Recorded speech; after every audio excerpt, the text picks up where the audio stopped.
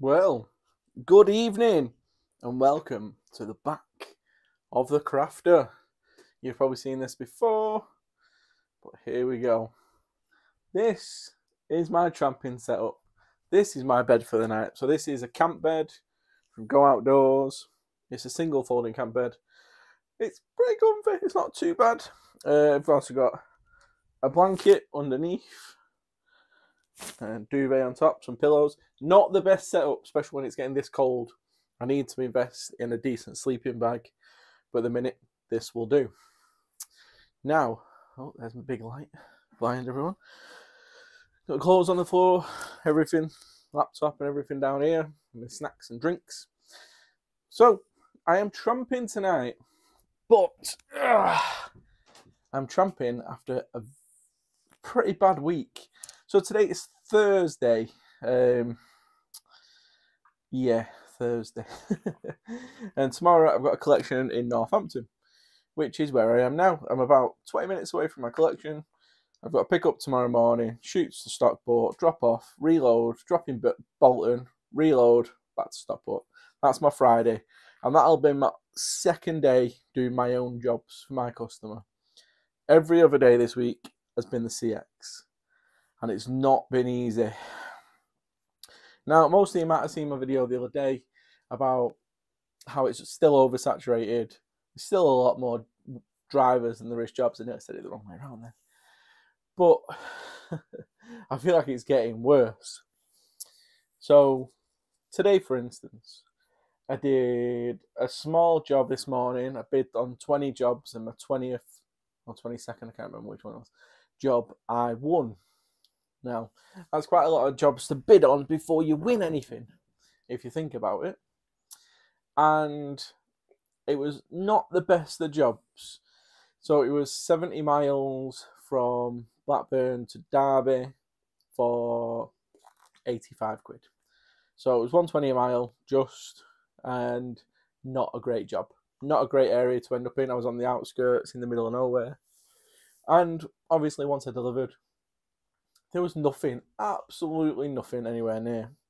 So I had the choice either head back towards Manchester, which wasn't that far, head up towards Sheffield, once again not that far, or head down towards Derby. I was closest to Derby, and at the time there was actually quite a few jobs popping up out of Derby. So I thought, no brainer, closest place, I'll start heading towards Derby. The closer I got to Derby, the less work there was. So I ended up parked up at Morrison's, just on the outskirts of Derby, um, bidding. And I bid on another 25 jobs. so my aim was I needed to get to Northampton, but I wanted to earn some money. So I was willing to go anywhere south. I can always make my way back up to Northampton, empty or with a job. But if I can go south and I can earn some decent money, brilliant. So I quoted everything going south of me. I actually even quoted some stupid ones going into South Wales, which is nowhere near where I wanted to be or anything like that. So I was a bit daft there, but I didn't get any of them anyway, and I wasn't quoting high. I was quoting a pound a mile for long wheelbase jobs, and a little, little bit lower for any other jobs because I needed a job. I needed to earn a bit of money, and in the end, I ended up driving an hour down to my tramping spot, empty. Yep, didn't get a single job. Uh, I sat in Derby for three, no, two hours in the Morrison's. And for that two hours, there was never more than six jobs available on CX at any one time. And that was from motorbike up to extra long wheelbase. There wasn't more than six. The one to go off, one to come on, but there were never any good jobs for me, and I wasn't getting the ones I was bidding on. So I thought, like the other day, I'll have a look, see how many drivers there are. So in the same 30 mile radius as I was searching for jobs, there were six jobs and 114 available drivers and 193 unavailable drivers that are probably just passing through the area. But still, they could be delivering in the area and becoming available very soon. That is no good for anybody. So not very much work, absolute ton of drivers, Nearly swore then. I'm not going to swear. So, yeah, absolutely dire. Luckily enough, I've got customer work tomorrow. But it's been tough recently. I'm not going to lie. I don't lie.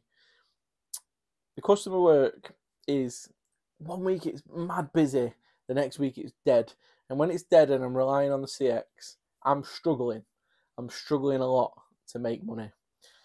But when it's busy with customer work, I'm making enough money to cover the weeks I'm struggling, basically. But it needs to keep staying like that, or it needs to go back to how it was last year. So this time last year, we had an average of four CX drivers and me out every day for this month. So it's a big difference to just me being out at the minute. Yeah, we subbed two jobs out this week. Uh, John, Tom Van did one of them for us, and the other one went on the CX. And that was it. Last week was pretty busy. The week before was pretty busy. But I always seem to end up in the wrong place at the wrong time. And especially Monday. Monday was a pain. So, what was I doing?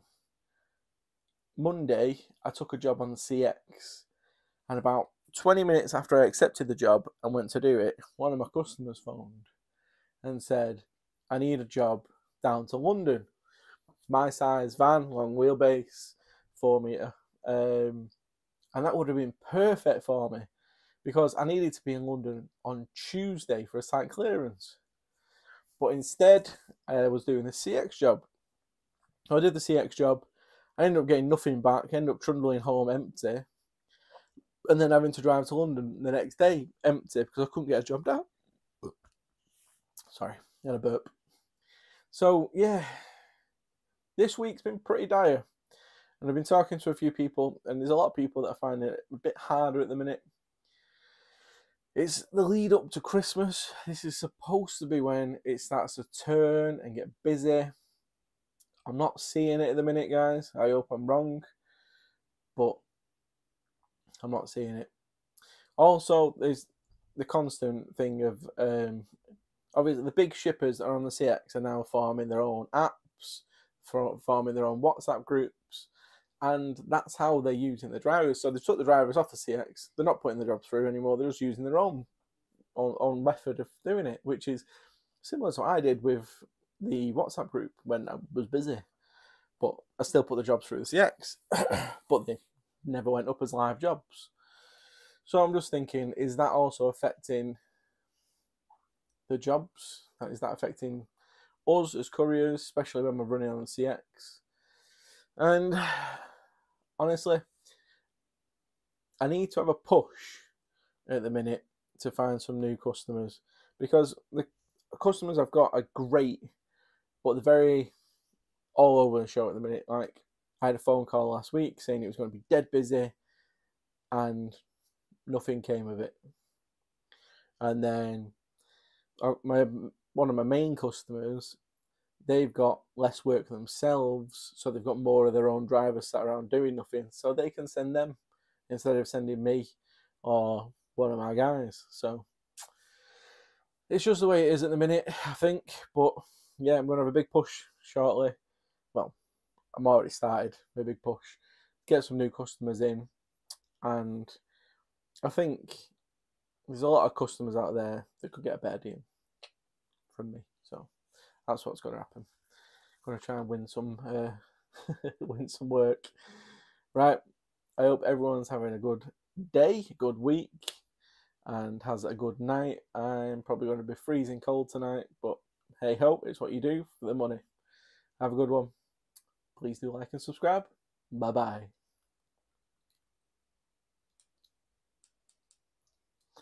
Now my camera won't go.